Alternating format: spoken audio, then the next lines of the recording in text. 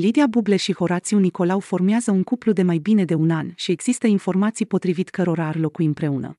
Cu toate acestea, cântăreața și omul de afaceri nu au vorbit niciodată public despre relația lor până acum. Ținem să menționăm că Horațiu Nicolau este un om de afaceri prosper, în vârstă de 61 de ani, care în trecut a deținut postul de televiziune Telesport.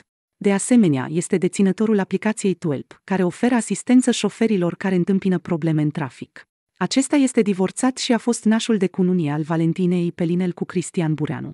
Afaceristul a fost surprins în compania mai multor femei după divorț. Dar a păstrat mereu discreția în ceea ce privește viața lui personală. Recent, Lidia Buble a fost fotografiată plimbându-se pe străzile din București. În imaginile surprinse, se poate vedea că artista poartă pe deget un inel ce pare a fi de logodnă.